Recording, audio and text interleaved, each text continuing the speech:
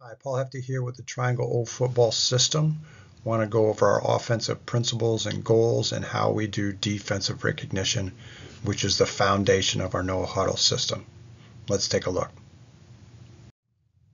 All right, first off, let's go over our trio principles. Number one is numbers. We're going to go ahead and have our quarterback point at the safeties, down to the outside linebackers, hanging backers, and then into the Mike.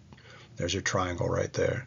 Number two, then we want to look for best blocking angles, and we are an outside in team, so we're going to look for our best edge, and then go to that three technique, the defensive tackle who's an outside shade on the guard. And number three, then we want to get our offensive numbers to the fields. We basically want to put speed in space because speed wins over scheme. Last, our goals, we want to try to run the ball against every team we play, but again, numbers will dictate that as our first principle. As always, eliminate turnovers, and in today's modern football, you need to have big, explosive plays. Next is defensive terminology.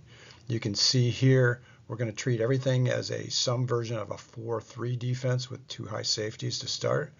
So if we say the play side is to the right or to the upper part of the picture, you can see then from the outside in, the cat is considered the play side corner and the ox is the onside safety.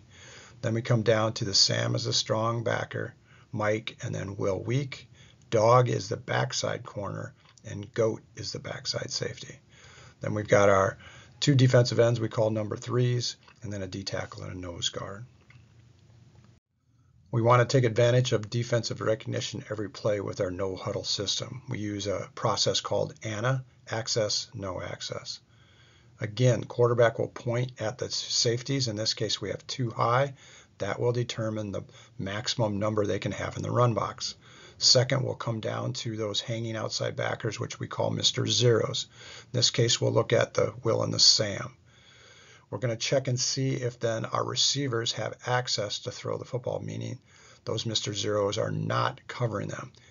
If they are outside covering the defenders. Then we say we have no access, and then that tells us now we have good numbers in the run box, and with our RPO, we'll read them as the conflict defender.